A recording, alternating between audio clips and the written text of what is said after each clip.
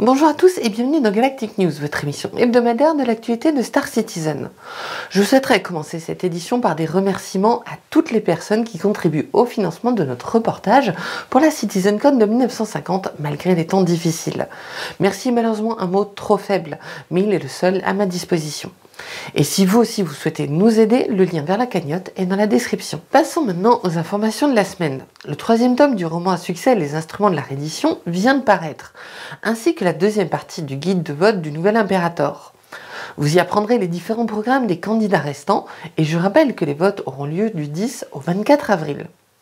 Jeudi, l'Office du tourisme de New Babbage a publié une vidéo permettant aux futurs arrivants de se retrouver facilement dans la ville et de trouver rapidement toutes les fournitures dont ils auraient besoin.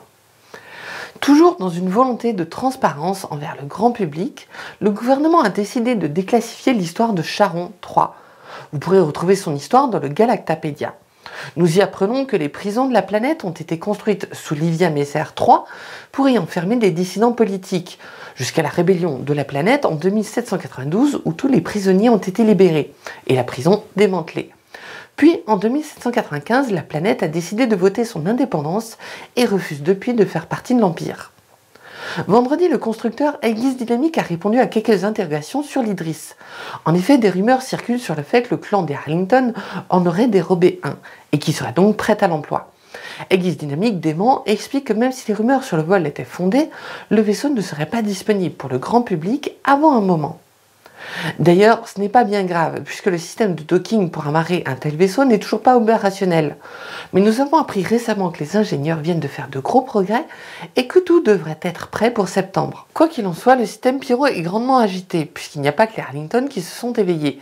Il semblerait que les Helmeted Vigilance fassent des ravages et tuent tous les gens qu'ils rencontrent. D'ailleurs, le programme RSI en a profité pour créer des répliques des casques des chefs de ce gang, pour que vous aussi vous puissiez vous amuser à vous faire peur en famille le week-end. Un bon moyen de ravir petits et grands et d'oublier les turpitudes de la vie. Et voilà pour les informations de la semaine. Merci à tous d'avoir suivi cette édition. Je vous retrouve la semaine prochaine pour un nouveau Galactic News. Bisous des étoiles.